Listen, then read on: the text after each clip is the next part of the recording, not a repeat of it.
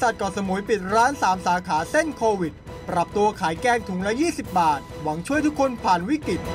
เภสัชกรค่ะเออขายยามีตั้ง 3 สาขา อยู่บนเกาะสมุย ในวันนี้ปิดตัวลงเรียบร้อยอืมแล้วหันมาเปิดร้านขายทำไงข้าวแกงชื่อนัทานชวนชิม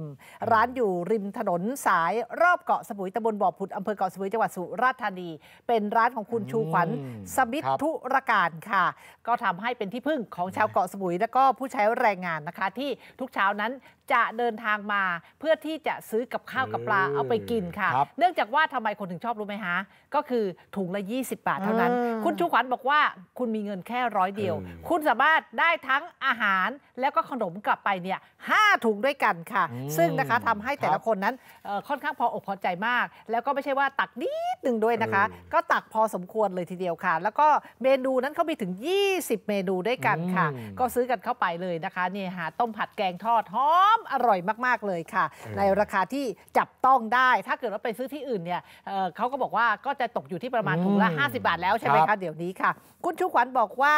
เอ่อในส่วนของการเอ่อมาช่วยเหลือภาวะเศรษฐกิจแบบนี้เนี่ยคือเธอก็มองว่าแม้แต่การจะช่วยเหลือคนจนที่เอ่อได้รับผลกระทบจากโควิด -19 ด้วยการตั้งตู้ปันสุกเนี่ยเออมันก็ได้ไม่เท่าไหร่หรอก อีกหน่อยไม่มีเงินก็ไม่มีใครทำตอนนี้ก็เงียบไปแล้วใช่ไหมคะใช่ครับแต่ว่าการที่เธอมาขายข้าวแกงถุงละ 20 บาทเนี่ยคือคนซื้อก็อยู่ได้เออคนขายคนขายก็อยู่ได้ด้วยเช่นเดียวกันนะคะเพราะฉะนั้นครับขอให้ทุกคนนะคะอดทน แล้วก็เราจะผ่านวิกฤตนี้ไปด้วยกันค่ะโอ้สุดยอดจริงอืมๆขานี้นะโอ้อืมนะครับเภสัชเขาจะมาขายนะครับนักค่ะบินเห็นไหมก็ต้องมาขับแก๊ปอ่าใช่ไหมใช่นี่นะใช่เดี๋ยวจะเจอนักข่าวไปขายขนมครกเหรออ่าคุณป้าเนี่ยเอาเตรีคุณยมพรพัฒน์นี่นะอ่าขายขนมครกนี่นะโอ้ใช่แอร์เขาก็ยังมาขายขนมไม่เป็นลยไรนะอ้าวเอออย่างนั้นคุณไปขายขนมพวกเหรอเออเออเดี๋ยวผมจะไปขับแท็กซี่ครับเป็นชิดความฝันเลยนะอุ้ยความฝันเลยเหรอจริง ๆ คุณต้องไปขับสีล้อแดงดีกว่ามั้ง